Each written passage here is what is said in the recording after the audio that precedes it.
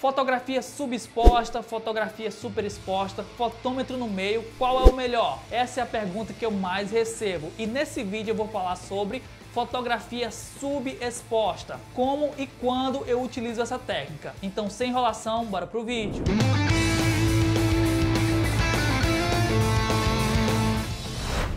Eu já estou aqui no Lightroom, eu tenho duas fotos da mesma cena. Uma foto eu fiz a fotometria subexposta e uma foto eu fiz a fotometria exposta para o rosto da modelo, tá?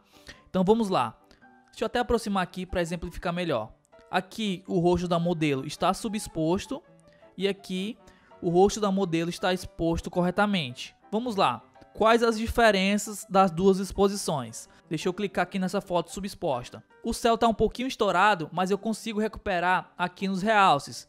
Se eu diminuir totalmente os realces, eu consigo recuperar antes e depois. Além disso, eu posso também diminuir um pouquinho da exposição e abrir mais as sombras e assim ter uma foto mais equilibrada. Já nessa foto que o rosto da modelo está bem exposto, mas o céu está estourado, mesmo que eu diminua 100% dos realces e 100% da exposição, eu perdi informação aqui nessa região do céu.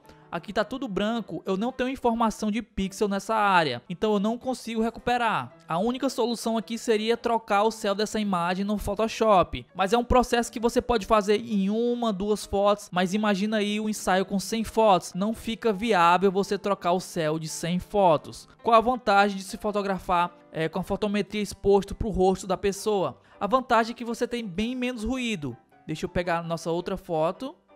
Ó, você vê que tem bastante ruído aqui quando você recuperar as sombras. Então isso é característico. Você recuperar as sombras vai trazer junto com isso ruído. Mas aqui é bem fácil de corrigir. Você vai em detalhes, coloca um pouquinho de redução de ruído, um pouquinho de redução de contraste e aí você consegue melhorar bastante.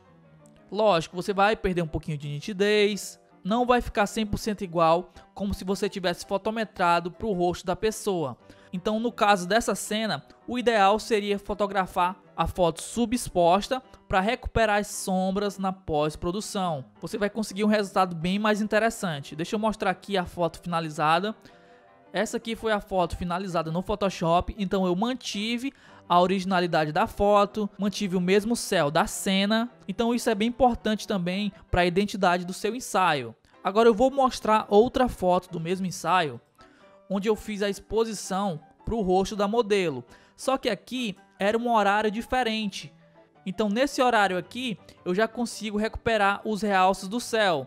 E aqui se eu aproximar do rosto da modelo, dá para ver que não tem ruído. Então existem situações que você vai expor para o rosto da modelo, existem situações que você vai expor para o céu. Não existe uma regra, vai depender da cena e por isso que é importante você dominar a fotometria.